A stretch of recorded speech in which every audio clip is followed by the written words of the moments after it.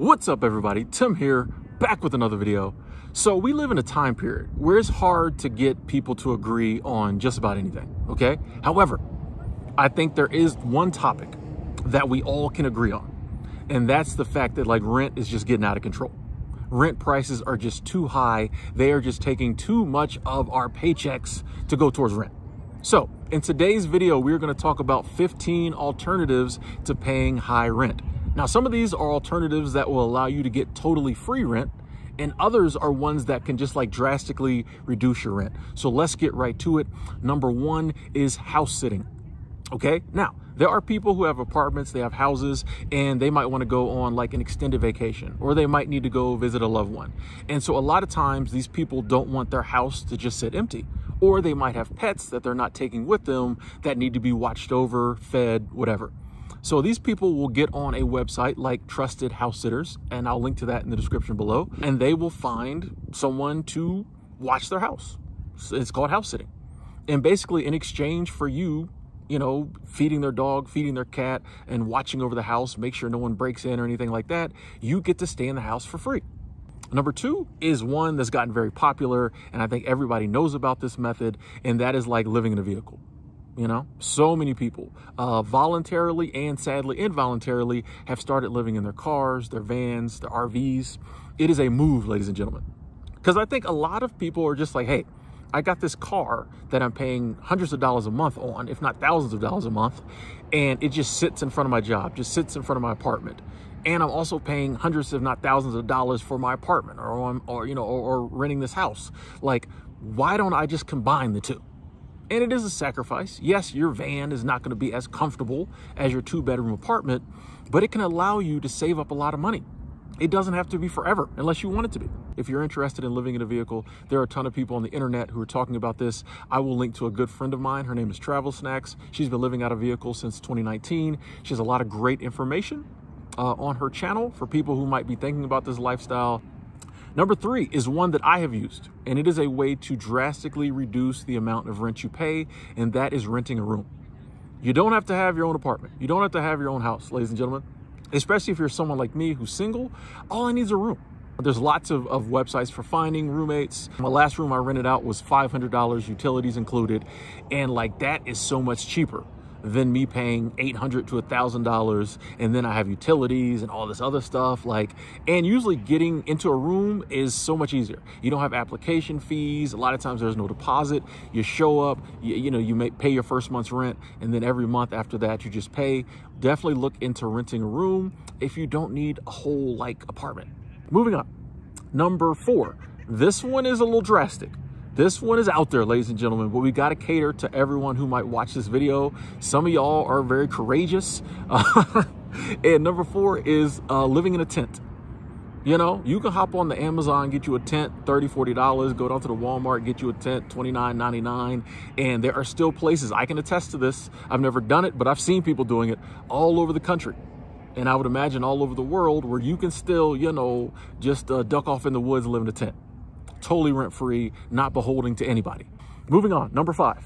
I discovered, ladies and gentlemen, um, in today's climate where a lot of people are working remotely, a lot of companies are going 100% remote, uh, there's a lot of office space out there. People are not buying uh, uh, or renting, excuse me, office space like they used to. A lot of the new companies are going online. You know, like office space is is like available out there, and a lot of times you can find office space cheaper than renting an apartment okay? And a lot of these offices will have like bathrooms either in them or sometimes down the hall. You know what i mean? I was seeing office space for like $600 a month $500 a month and it's a room and it has access to a bathroom. And yeah yeah you may not have a kitchen and things of that nature but if you're someone like me who eats out or all i need is like a microwave you know like you may be and depending on where the office space is you might not be able to get away with this but i think there's a lot of offices where like people just don't care you know, you just put your little fake business sign on the door. They're not really going to ask no questions. Number six.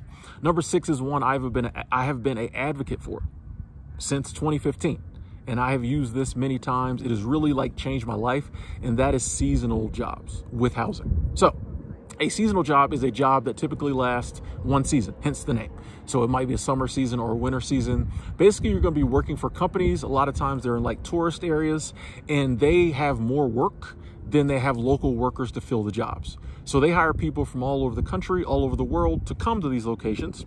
Um, think like national parks, things like that, um, to work. And since they know you're coming from all over the country, all over the world, they know you're not going to have a place to stay. They have to provide housing. And since a lot of these aren't the highest paying jobs in the world, housing's pretty cheap. I think at my first seasonal job, which was in Yellowstone National Park, housing was like $10 a day. And just to sweeten the deal, that came with three meals a day. So I was paying $300 a month for uh, housing and three meals a day. Full disclosure, uh, all employee housing is created different. There will be some where you get your own room. Uh, a lot of them, you, it's like dorm style, so you'll share a room. But for the, you know, what they charge, you know, you can deal with that for four months to get greatly reduced rent or in some cases free rent. Some places have free housing. There is a website I always use called coolworks.com. I will link to in the description box. Not only is it the best website for seasonal or temporary like travel jobs, some really awesome people that run it. So definitely check out coolworks.com. Moving on to number seven. Our seventh way to like uh, uh, get out of paying high, crazy rent is to move back in with your parents. And I'll also add move in with a family member, move in with a friend. Okay? There is nothing that says you have to have your own place. And if you still got your old bedroom at your parents' house, or your parents got a basement, or a friend of yours has extra room, and they're willing to let you live there for free, or like super discounted rent, go for it. Go for it. Why not? Okay, it doesn't have to be forever. And anybody who laughs at you because you're like 37 and living with your parents, you can laugh at them because you're saving $900 every month that they're blowing. Not to mention, there's a lot of lonely people out there in the world. Your parents would probably love for you to come back and stay for a while. A lot of your friends would love for you to like stay there with them for a little bit, you know, if you're a responsible, decent person. So look into that, folks. Swallow your pride, let go, detach from your ego, move back in with your parents, save a little money. Moving right along, we are on number eight. And that is kind of in the similar vein of some we talked about before, but like get more roommates. Okay? If you're renting a place and, you know, you've got two bedrooms, rent one of the bedrooms out. Pay, you know what I mean? You know, pay less rent. I also believe like we can get even crazier with this. You know what I mean? There's a lot of people who say you have a one bedroom apartment and you have a huge living room that you're never in. You know, you have a huge living room you're never in because you're always in your room. You know, you could buy some partitions off Amazon for $50 and partition off that living room and rent that out. We got to get, you know, creative these days, ladies and gentlemen. Why do we have these this big living room? Okay, maybe you're you know, you know you're renting a house and it has a garage. Maybe you can get somebody to like live in the. Who knows? Just put it out there. Hey, three hundred dollars a month, you can live in my garage and you can use the bathroom inside. Someone might do it. Number nine is one I have done short term, and I think a lot of people are going to start doing long term once they like figure it out, and that's living in Airbnbs. Airbnb will allow you to rent monthly and you can rent multiple months. Say you find an Airbnb you really like, good location, is cheap. If, if, if, they have vacancies, you can rent that thing out for like three months, four months, five months, you know, and they charge you at the beginning of every month. Um, so it's not like you'd have to spring for three months of payments up front. No, just every 30 days, they'll charge you for the next month. And with Airbnbs, there's no, you know, application fees, you know what I mean? There's no deposits. Like you just pay your money and you go you know? And the cool thing about airbnb is if you want to stay a month you stay a month then you find another one. Um, and if you're mobile and you can travel all over the country here's a little hack. Um, airbnbs get cheaper during the off seasons of certain locations. For example i go to uh, myrtle beach every winter uh, for a month or two and i stay in an airbnb and it is five times cheaper than it would be during the summer. Also with airbnbs a lot of people have say maybe they have like a big house that they put on Airbnb and they might want someone to like live on that property in one of the rooms or in a basement or in the garage. And in exchange for like you cleaning the Airbnb every time someone leaves you get free room and board free room excuse me. So you can look into that. Uh, I think it's called being an Airbnb property host. Now moving on number 10 this is another extreme one another drastic one but couch surfing is back Okay, the pandemic came through, shut it down as it did a lot of other things, but couch surfing is back. There are people who will allow you to come stay with them for absolutely free. And it may only be a couple days, it may only be like a week, but you know, you just get on couchsurf.com and like, you know, if you want to put in the legwork, you can find people, you know, you can just rotate and go different places and maybe use this in conjunction with house sitting or in conjunction with Airbnbs, but like every now and then you might be able to find someone who will let you just stay on their couch for a week for absolutely free. And all you got to do is just be, you know, a cool, you know, person and hang out with them and talk to them and listen to their stories. Number 11, and let me put a disclaimer on this one, ladies and gentlemen. If you do this one and you get in trouble, you didn't hear this from me. Okay, I don't know how legal this is, but I have heard from quite a few people who rented storage units and lived in them. Okay, if you've ever watched Atlanta, um, he was living in a storage unit, I think in season one for a little bit. But like, yeah, you can rent a storage unit for $100, $200, depending on where you live. And a lot of times they're climate controlled, okay? And you might be able to like slide up in there, pull the door down and sleep overnight.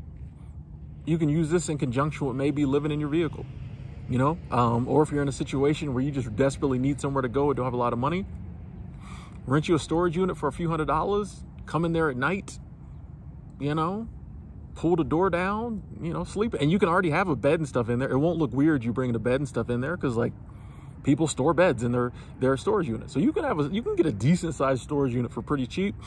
And if it's not somewhere that like it's a problem, you might be able to get away with it for a while. Once again, you get in trouble, don't send them to me because I'm I don't know you. I think we're on number 12. This is another good one, and I've tried this one. It's work exchanges. Okay, I use one called WWOOF, W-W-O-O-F. It's worldwide work on organic farms. I'll put a link in the description box. And basically, in exchange for you going to different farms and ranches, um, most of them organic, they also have like some communes, things like that. In exchange for you going and spending five, six hours a day working for free, they give you a place to stay. And a lot of times, I think they give you like one meal um, a day maybe two. It's it's in the, you know, when you go to WWOOF, uh, I think WWOOFUSA.com. I'll link to that one. But there's actually woofing websites. Every country has its own website, so the rules may be different. But bottom line is, in exchange for working a few hours a day, they give you a place to stay. Now, number uh, 13, uh, in-house helper for the elderly haven't done this one. I've heard people recommend it, but if you're the type of person who gets along good with elderly people, um, a lot of time, and you may have to have some qualifications for this. I'm not sure, but there are people who you know need someone to live in house to take care of you know elderly family member. You could also put nanny on this. It's an option. You can Google it. You know, I've seen jobs like this pop up on Indeed. Once again, I don't know the qualification certifications, but it's a way to like have a place to stay for free and make some money and pay absolutely no rent. All right, uh, number 14, moving right along, wrapping this video up. Number 14 is look into government housing assistance, swallow your pride, detach from your ego, Google your area, and just see what the government housing assistance is, because there are lots of programs out there to help people out. And don't assume you make too much money. You probably don't. You you might. But you know a lot especially these days I would imagine the requirements have, have the, the income requirements probably have gone up as rent has gone up. So check it out. You know, you might be able to qualify for getting, you know, the government to pay half your rent. You know what I mean? Don't be too proud to get on Section 8. You know what I mean? Just look into it. And finally, number 15, this is another kind of drastic one, but if you really down and out and can't afford the rent and you need a roof over your head, hostels are a good place okay hostels um, sometimes they have private rooms that are a little pricier but you know hostels are still even though they're a lot pricier in the us than around the world hostels are still a great place to get a bed for you know 30 40 50 dollars a night all right. And like I said, you might use this in conjunction with some of the other ones. But every now and then when you just have no place to go, instead of spending $100 a night for a hotel, if you can spend 30 for a hostel room, which yeah, you'll have to share it with a lot of people, but you know, you go there for a week for a couple hundred dollars, you know what I mean? That can keep a roof over your head. You have access to a bathroom. So look into hostels. Okay. You know, like I said, you can piece together a bunch of these and make it so that when you are, you know, paying for your accommodation, it's cheap, or you can kind of set it up to where you never really pay any type of rent. You know, we got to cr- creative. We just don't have to give in to them being like, nah, we gonna raise y'all rent. Nothing y'all can do about it. Yes, there is something we can do about it. We can take our money back or never give it give it to them in the first place. And you might find out you like living with a roommate. You might find out you like living in a storage unit or living in Airbnb. You know what I mean? So check it out, ladies and gentlemen. I hope this video has been helpful. If you know any other options for free rent or, or greatly reduced rent, please put them in the comment box. Let's get a conversation going. Let's help each other out because like we need to keep all our money. Okay. We trying to get financially free out here. You can't do that giving away all your disposable income. Thanks for watching. Talk to you later.